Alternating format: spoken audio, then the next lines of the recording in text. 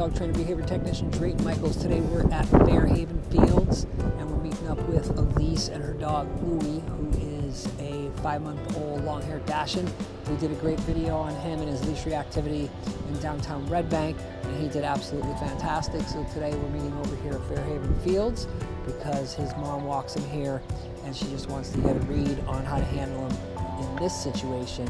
So enjoy the video and uh, stay tuned because it's going to be fun. How's Louie doing? He's doing good. Yeah, here he's barking. I know. I was just Excited. What's going on, buddy? How are you? What are you doing? You ready to go? What's usually your issue when you have him here? He gets very hyper. Hyper, huh? Yeah, hyper and Stay. excitable, and not Stay. so much the barking as um, Stay. as just Hi.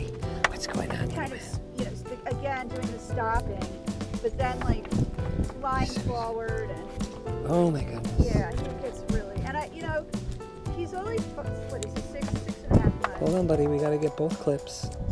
that hold on. thing. is so Hold on, hold on. I know, I know, buddy. If- I know, but I got to get both clips, buddy. There we go. There he is. All right. So I want to see how you deal with that. I mean, Which way do you normally walk? Uh, this we go. There's like a path. We go to Okay. the sidewalk. Okay. I just want to see how you do this. Well, you know, like I said before, I'm just going to hustle to scent. I'm going to get him right where he wants to go for smells. Uh, we got kids over there doing Yes. stuff, so if he looks over there, I'm going to yes and treat. Pretty much the same procedure as we did in downtown Red Bank. This place. I was here a Saturday after I saw you. Okay. Oh my God, it was horrible, but great the next day. So again, awareness, number one tool, right? We got a jogger coming. So before she gets too close, come on, come on. Right, we're just gonna go over here. So we have distance. If he orients to her, I'll mark and pay. Yes, nice, popped right off the marker. Yes. Yes. Now, Drayton, when people come up to me, they want they start like, and he goes, Yes. he rolls around. Is that okay or no? That they come up to you or They that he come rolls up around? And he gets excited, and they and Yeah. he's. Yep, it's fine. As long as you want to have engagement. If you don't, just tell them to stay away. Uh-huh. You know, you always tell people you're training, and then usually that'll leave. I mean, he gets really crazy, but he seems to enjoy it, and they don't. Yeah, that's fine. I mean, if you want to engage with people, like I said, if I don't want to deal with people, I just tell them I'm training, and that usually keeps them at bay. Right.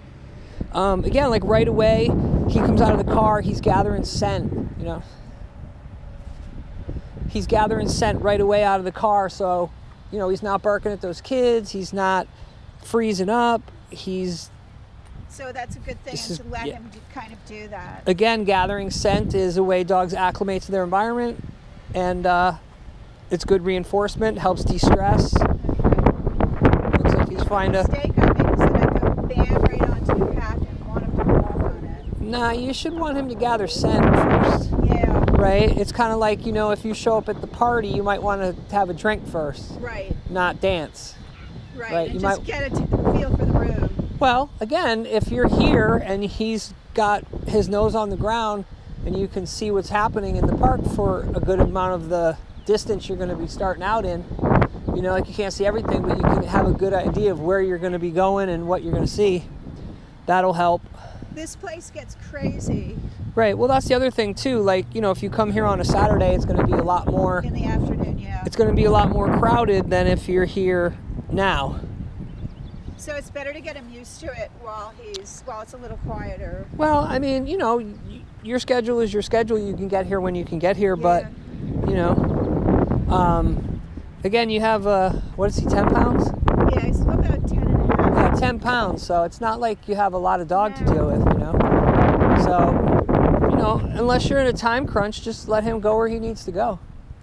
Right? Uh-huh. See some fresh urine right there. Oop, don't lick. Don't lick. Good boy. Yeah, who is here? Other dogs. You gonna send a female? He's been being really, really good Nice. the last few days. And and you know, I was able to even walk him on Hope Road and then go across the street. Okay, good. Yeah, and that was at the Sunday after I worked with you with him. Nice. I couldn't believe it.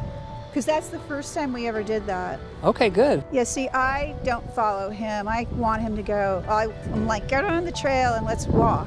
Right, but I mean, I've, if you're coming here for him, it's his walk.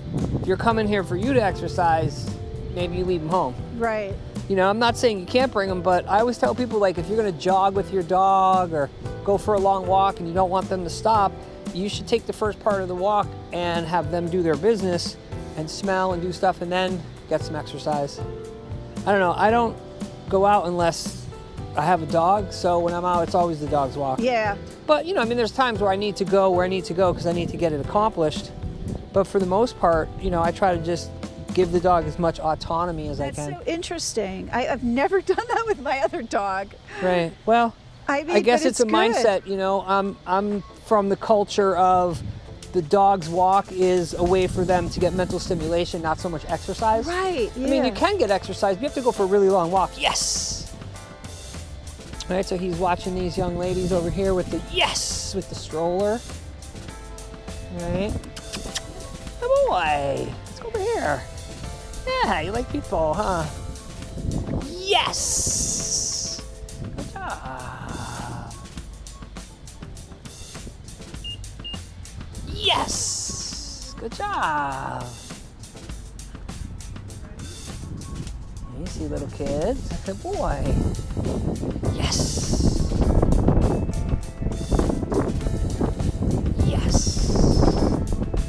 Doing great. He's doing really good. Good job. Disengaged on his own. Yep. So again, like, you know, I paid him, you know, whatever, three or four times. Yep. And then he's like, okay, they're cool. I'm back to send. This is so helpful. which is yes. But again, you know, he might check back in. And so I'll give him another payment. Leave it. Yes. See if I can get a disengagement with a leave it, which he did great. Come on, bud. Woohoo! Yeah, you having fun? Yeah, you like those people? Yeah. Good job. Good job. he loves people. He wants to go over to everybody. Come on. Nice. So that's another reason why, see, the kid started running. So that's another reason why I moved on because I knew they were going to take the kid out of the carriage, right? There's going to be voices. So I create distance so if, if he does orient, it's not as intense, Right. right? Get him over here to some different new scent. Come on, bud. And again, like we talked about in Red Bank, you know, if you need to move, you can just gently move. Yes. And he'll go move, with you. Let him follow with He'll, you. he'll go with you. You know. The boy.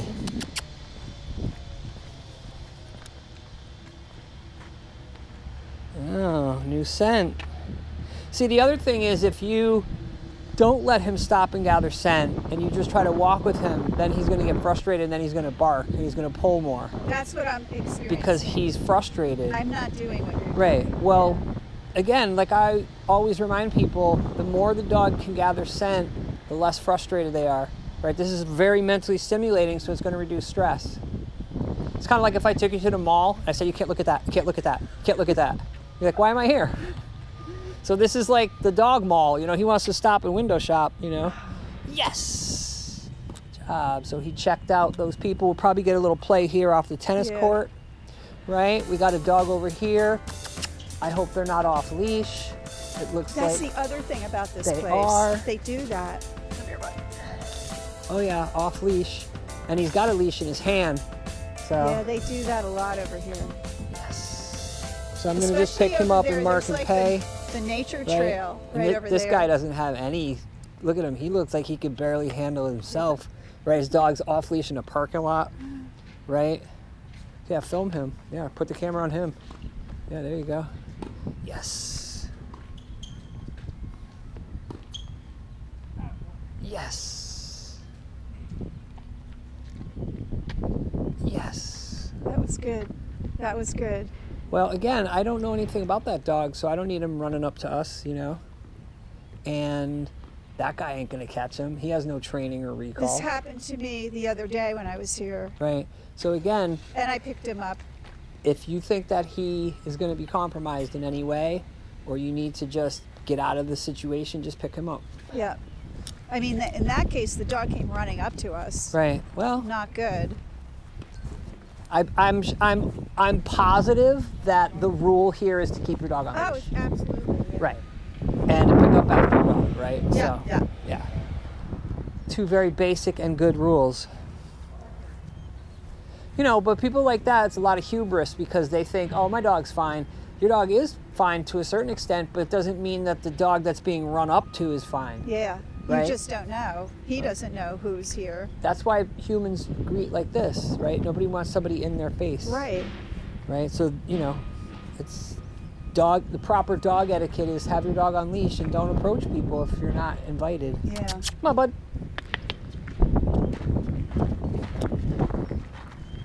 So, so far he doesn't care about the tennis players. Right there. Look. Fine. Right there. Yep. Yeah. Well, again, see, you know, the thing is too is if that guy, if his, if his dog gets bitten up by another dog, what's he gonna say? Right. So we got another dog coming here this way. So, fortunately, they look like they're on leash, or at least Yeah. he- the guy's holding the leash. Yeah. yeah, he's on leash. So, so again, when you see dogs, create distance, right? Okay. Well, because that's going to reduce reactivity. You don't know anything about that dog. Some people just let their dogs go up to dogs. Yeah. He's got a, a flexi lead, so he obviously the dog can get the dog can get away from him. Thank you. Boy. All right, so we'll get a little uh, get a little work here with this dog. Yes. Yes. Yes. Nice, popping right off the marker. Yeah. Yes. Yes. Good job, buddy. Now, if we had stayed on the path and we went head to head, right, we don't know anything about that dog. He might be very friendly, but still, you also have a very big size difference, Yes. right? Yeah. So he's he well he would have gotten scared is what he would have done. Right, or, or, or he might have got excited, but always create distance. yeah. Okay. Because distance reduces problems, distance reduces stress. Right. Come on, kiddo. Yeah, yeah, you're having fun. Woohoo. Right, and again, like we so talked. this is what I get. That yeah, but that's okay. You don't have a Rottweiler. no. You have a little tiny Dachshund. He can bounce around, right? Yep. And if you let him do this, right, he's going to be a lot more tired when you get home. True. That's true. Right? If you're trying to always make him stop doing it, he's going to get frustrated and bark. uh huh. So it's a combination of allowing him to gather scent. Yes. It's okay. You know, I don't think a lot of people know this about this Yes. kind of way to do this. They don't. It's okay. Because um, everybody thinks the dog should just be you know, quietly walking along, and you should teach them that. Well, that comes from military dog training when you were in formation and you had a gun. And come on, buddy, let's go. I see a lot of stuff here. Looks like fertilizer. Let's go. Ugh. Yeah, let's go. Yeah, you're right. All right, so another DOG. So we're gonna go off to the side. Right, we're gonna create a little distance. And we got a jogger. Yes.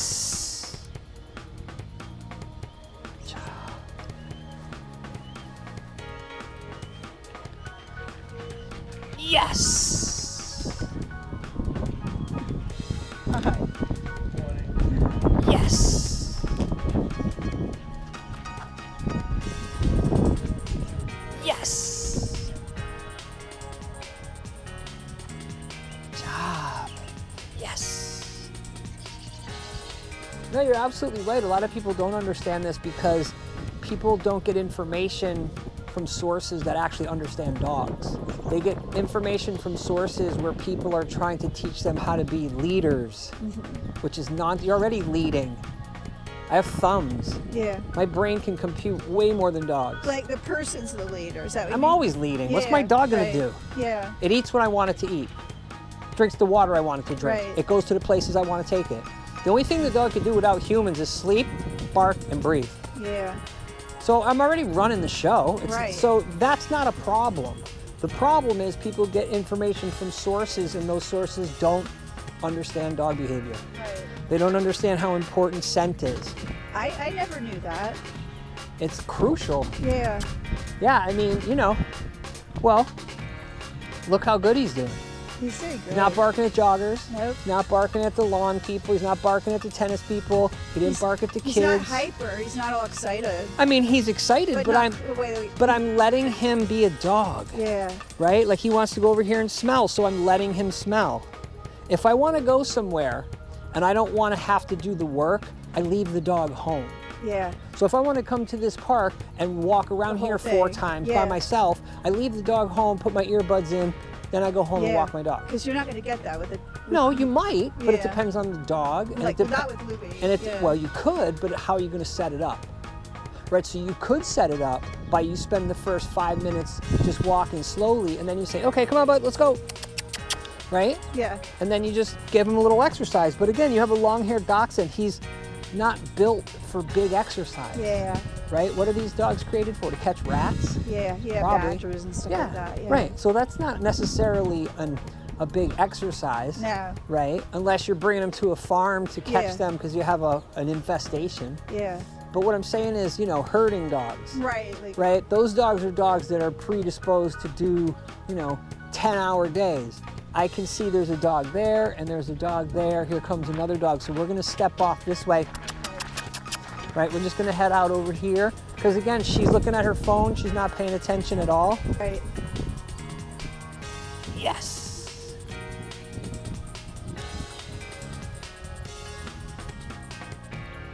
Yes. Nice, popping right off the marker, Lou. Yes. Good job. Good job, buddy.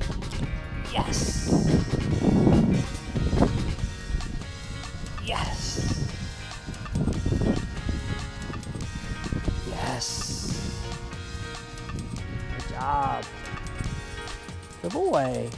Yes. So, a marked difference from the first time. I can tell you've been doing the yes and treat routine. That's great. That's great. Okay, bud. Yes. Oh, okay.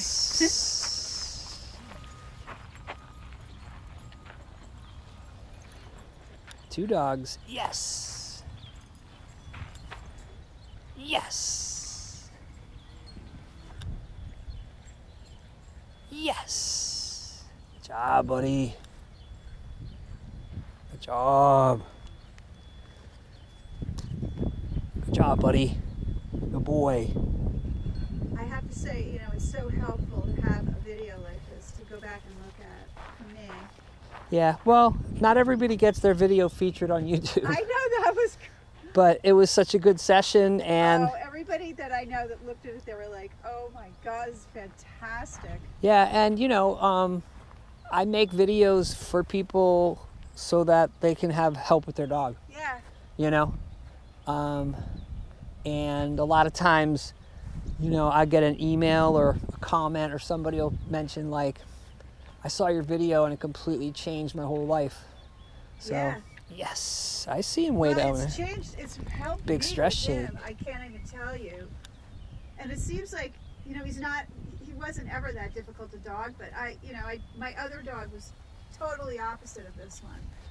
Well, they're all individuals. Yeah, I mean she was very very mellow. Leave it. Good boy. That's guys. We're not going to play with that. So again, you could see like I'm letting him go where he wants to go Uh, versus trying to walk around the track. right. Yes. that's real so you see what just happened there? what just happened there was he saw that dog way over there. Yeah. Right? And he looked back. He turned he checked in. Good job, buddy. Did he look? I didn't catch it because I was. Yeah, he looked right back at me like, "Hey, pay me for Where's that." That's good. That means that means that he's figuring it out. That he gets paid for dogs. And remember when you mark and pay your dog, right? When you yes and treat them, all they're going to figure out is that they're safe and that stuff predicts getting paid. Mm-hmm. Come on, little man, where are you going? Woohoo! What you doing, man? So we got a jogger coming. Yes. So he already spotted him, right? He already spotted him. No, you don't want that. Where are you going? Where are you going, Lou? Yes. Want the big piece?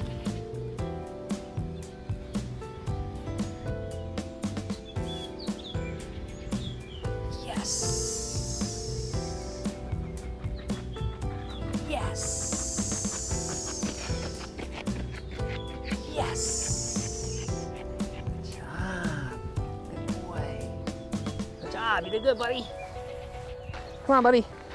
You know, and the other thing about Louis is that he's a little short-haired, uh, or short, short-legged, long-haired dachshund. So his stamina is going to be, you know, a little less than if you had a lab or, yeah, you know. got Come on, bud. Little short legs. Yeah. Oh God, I walked the legs off my other dog. what kind of dog was it? Uh, she was a, a um, another dachshund. Yes. Yes. That's okay. I got him on my chest camera. There we go. Yes.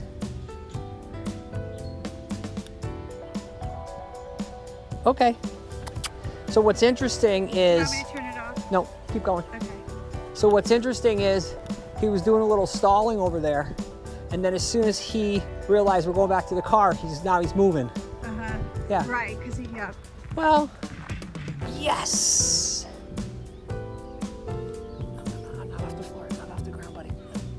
Fertilizer.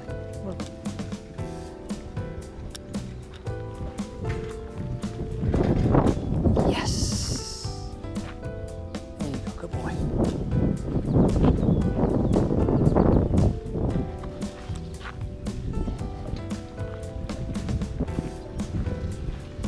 Yes. It's okay. Yes. Yes. Yes. Nice, good turn back.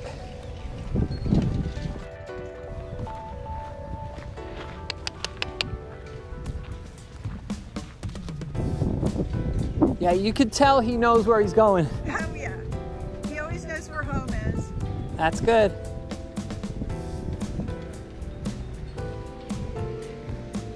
Mama's coming.